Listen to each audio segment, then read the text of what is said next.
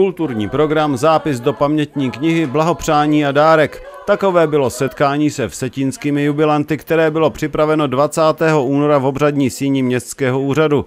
Setkání se zúčastnilo 52 oslavenců ve věku od 70 do 90 let. Paní Anna Machalová byla jednou z nich. Jak se podle vás žije seniorům tady na Vsetíně? Dobře. Dobře, lepší jak když jsem byla malá dcerka.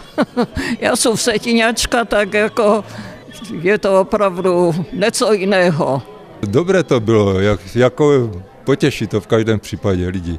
A místo staroste jsem říkal, že to dělají teď dobře i s panem starostou, že si to velice vážím. Já jako osobně, i další kamarádi. Jako. Jubilantům, se kterými jsme mluvili, se také zamlouval formát setkání v obřadní síni městského úřadu. Nemrzí vás třeba, že, že nepřišli k vám domů, že, že to máte takhle dohromady? To ne, to vůbec ne. Tak je to lepší, se setkám zase s jinýma kamarádama, to, to je dobré, jako v pohodě. Sám doma proč, jako to na co.